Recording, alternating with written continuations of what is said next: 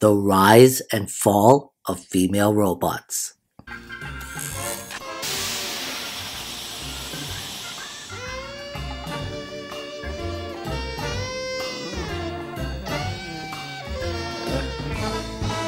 If you remember this clip from 1997 from the hit movie Austin Powers with Mike Myers and this clip with the fembots, then fast forward in time to present day, then the rise and fall of fembots or female humanoid robots is not even a topic. Continuous growth or just the rise is probably what I should have titled this video. But anyways, let's get into it. Did you know that the future of robotics and artificial intelligent female human-like robots can offer so much more than just companionship? Yes, this is true. And the list can go on and on about how human-like robots are much more efficient in the workplace. But did you know that these female human-like robots are proven to increase the quality of life, making the world a better place. So surely, when we say that female human-like robots are taking over YouTube, it shouldn't really come as a surprise. And it's kind of more like finally getting the recognition they deserve.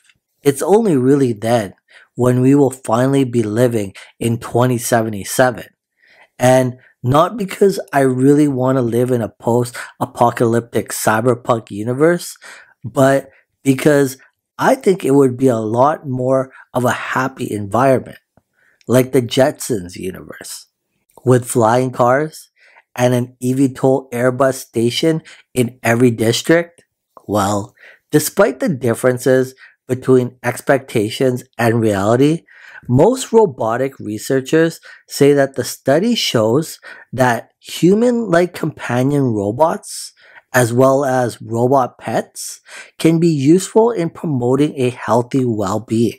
And not only artificial intelligence, but robots are helping to cope with anxiety, depression, and loneliness while other robots have been scientifically proven to reduce depression and anxiety. In fact, even the human-like robots can act like pets with a more intellectual, artificial intelligent background. It's no secret that human-like robots generally have a good social reputation. In fact, many of us accept them in social media and on YouTube.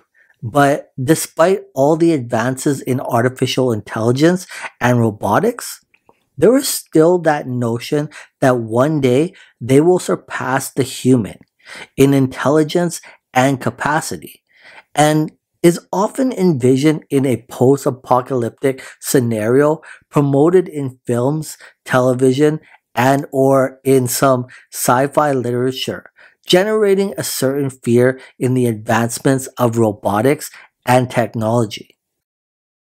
Brain time Congratulations, you made it this far in the video. What would you do if I told you you could have 25 years of good luck? And all you'd have to do is like this video and also subscribe if you haven't already. Well, what are you waiting for? Smash that like button and you'll get 25 years of good luck. And now, back to the video.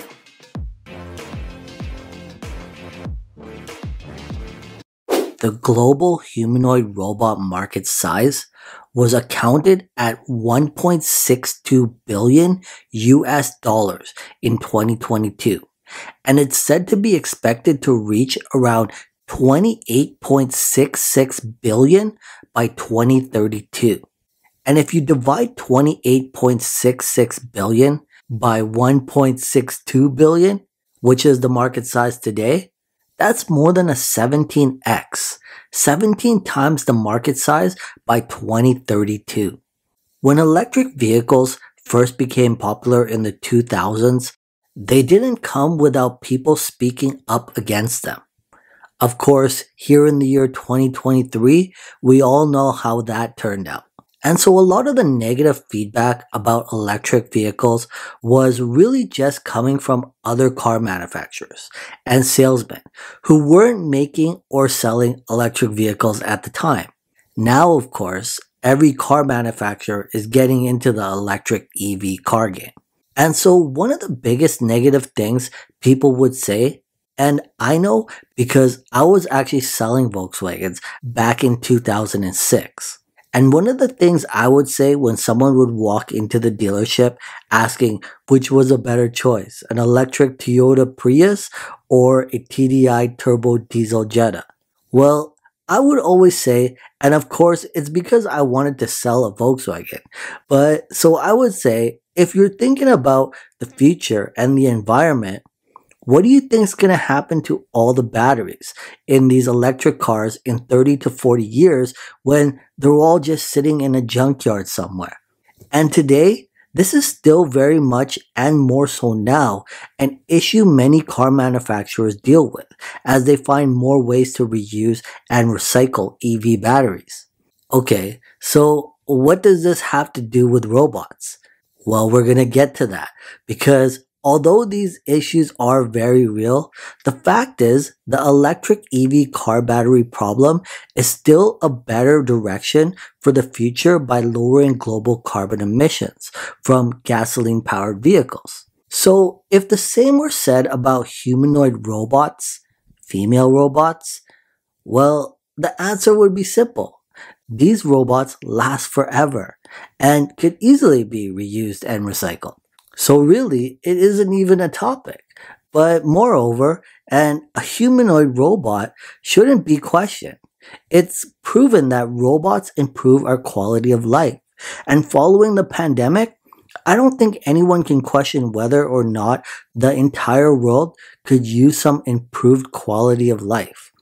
In addition to assisting people with disabilities, modern technologies, including robots and AI, contribute to the development of digital health, all while, of course, contributing to society. Robots save workers from performing dangerous tasks and so much more. In fact, the only real threat humanoid robots or artificial intelligent female love dolls pose would probably be towards women. And that right there is truly the post apocalyptic scenario rather than the notion of robots surpassing humans, rather the human race no longer populating.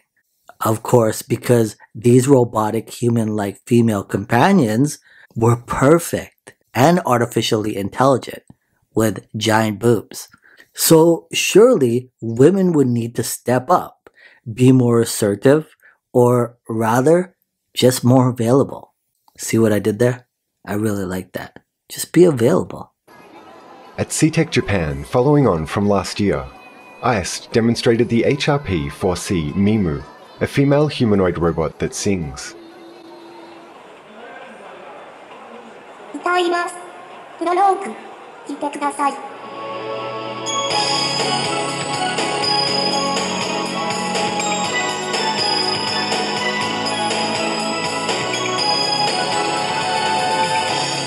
ます。プロローグ、聞いてください。ち止まるときまたふと振り返る